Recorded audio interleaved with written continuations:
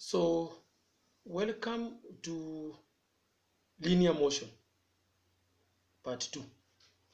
Part 1, I handled vehicles moving in opposite direction. Okay? One this side, one the other side, they are moving towards that. This time, they are moving towards same direction. First one, opposite. Now, same direction. So I get an example. Okay. This is K for Kisumu, Kakamega, Kitui. K. So it fits all of you. But for me, because this is K, Kisumu. Kisumu and Nairobi. The distance between them is 500 kilometers. I don't have the question, I set it. Okay? A bus, B for bus. A bus leaves Kisumu at 8 a.m., moving at a speed of 60 kilometers per hour towards Nairobi. Okay? A bus leaves Kisumu, which is 500 kilometers away from Nairobi. That bus is moving at 60 kilometers per hour there, and it left Kisumu at 8 a.m. Okay? Scenario 2 C for a car, Mercedes, a car. A car leaves Kisumu at 9:30, moving at 100 km per hour towards Nairobi. So the bus and the the car are moving towards Nairobi. Do you remember? This is same direction. There. So you put it in a simple diagram, a sketch, but accurate sketch, not just sketching. Okay? So this is my scenario. Two things I taught, no, three major. Okay? One, can you recognize time difference?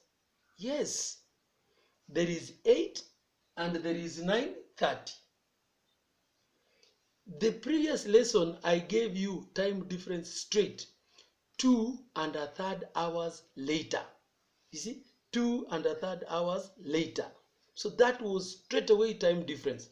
This time I give you time of the day for the bus and for the car. No big deal. Time difference, subtract them. What does that lead me to? Here, that gives me a tool to calculate the distance the bus traveled, which is speed of the bus times time difference. What is time difference? So simple. One hour, 30 minutes, one and a half, three over two. 60 is the speed of the bus. Time is one and a half, three over two. I get 90 kilometer. This is the analysis. That there is Kisumu here. For example, I write in blue. Kisumu here. There is Kisumu. The bus has covered some distance. Nairobi there. Nairobi there. So this bus has covered some distance. Which distance is that? 90 kilometers. Okay? You can get the remaining part. You see, once you know 90 and you are given 500, you can always compute the other part, okay? I don't need that. I'm following up what I taught. So this part must be okay. Number two, time to meet, time to overtake. At what time, okay, was the bus overtaken? At what time did the car, Mercedes, meet the bus.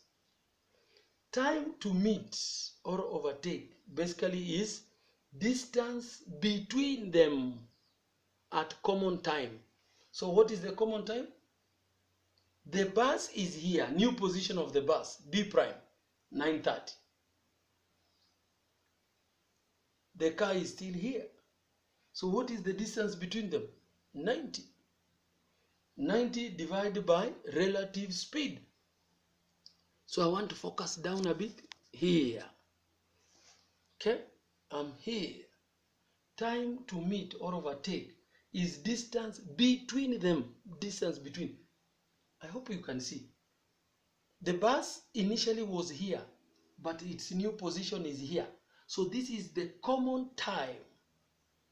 The car is leaving at 9.30, but the bus went, ilisonga, it went. So at 9.30, we can tell how far these two are separated. 90 divided by 40. How did I get 40? Relative speed. They are moving in the same direction. 100 minus minus uh, minus 60. Some people call it approaching speed. It's like we are freezing the the bus. We see how will the car move. Yes. So this one this one is simple. This one cancel. Then 4 goes here twice and 1 over 4. You can manipulate this the way you want. Okay? These are hours, by the way. Then now come here. Analysis. Analysis. You know, if you want to get marks, you must be also clever. Analysis. This is Kisumu. This is Kisumu. Let me write Ki, Kisumu. The bus moved to new position in one and a half hours. That was the time difference there. Okay? So the new position at 9.30 here. Okay? Now the car at 9.30 is still here. We have calculated that it will take two and a quarter hours to meet. So it is this to meet that one. Eh? Okay?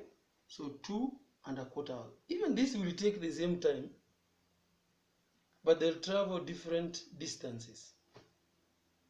So the car took two and a quarter hours. Now, once you analyze this, the questions on the distances are very simple because you have tools. You, you remember this? Remember that? We focus, we focus here. Yes. Remember that? This speed is distance over time. Distance is speed times time. Speed times time. So once speed, there are only two speeds. There are only two vehicles. So which vehicle is he addressing? Bus or car? Take its speed. Time. This gives you the time. Okay? Gives you the time. That is a good backup for the first lesson. I don't need to continue with linear motion. No. I want it to prick your mind. Struggle. Get questions that have answers. You will get all of them. Bye bye.